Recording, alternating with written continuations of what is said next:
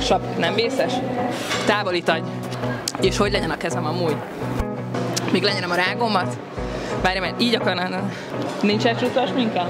Jól nézek ki? Igen, izgulok.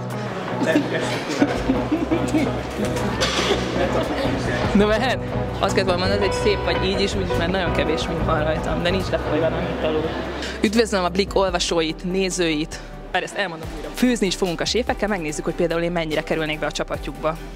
Nem? Csapatjukba nem is jó amúgy ez a rabozás. Utoljára. Jó volt így? Nyelvtanak helyes volt? Na, mint... Várj, ezt megvárom. Az itt lévő sajtos kollégákkal együtt csapatokba osztottak minket, úgyhogy kipróbálhatjuk, hogy milyen egy ilyen versenyhelyzet. Készen állunk! Mit kell csinálnom akkor? Nem hoz, rosszul vágom a krumplit, hallod? Tartok egy kis szünetet. Honnan tudom, hogy mi az egy perc? És bocsánat, hányason van? De, de ne roncsd el, légy szíves, koncentrálj. Nem kell sietnünk, inkább jó legyen. Pattog rám, az a baj. Csináltál már ilyet korábban? Soha életemben.